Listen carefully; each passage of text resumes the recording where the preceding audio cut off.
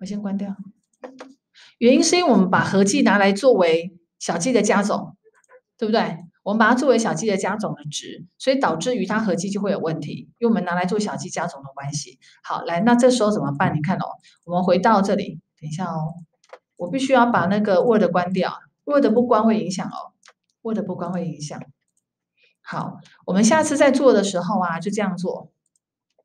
等一下，好，来这个不要用它，听懂吗？因为它这样变成合计，我们只会带进去。你要用一个不相关的值。来作为合计的栏位，所以假设序号，因为序号哦，序号会放进去哈。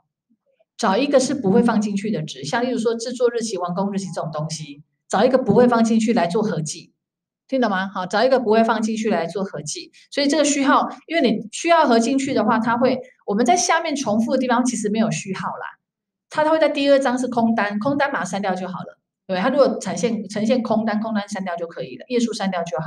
所以呢，技巧是我们在做小记的时候，来把它清掉哦。小记如果要清掉，请到资料里头的这个小记，然后呢，左下角全部移除。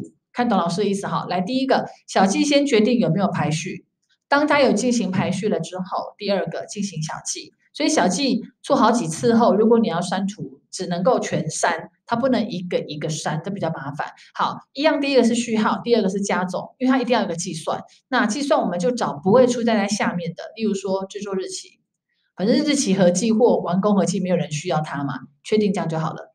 知道老师的意思吗？它还是会帮你分群的，有没有发现？还是有分群的。好，那分完群之后，分完群之后，这个就不管它，合计就不会错了。知道我的意思吗？好，合计就不会错。所以我们一样还是用刚才的做法再做一次，来 save 起来哦。好，我们回去，回去后我们看一下刚才的档案，我刚刚做了 save 起来。好，一样嘛，对不对？呃，邮件，OK，好，现在是这样，有没有？跟刚刚的一样哦。这时候合计就不会带进来了，看到吗？合计它就不会进来了。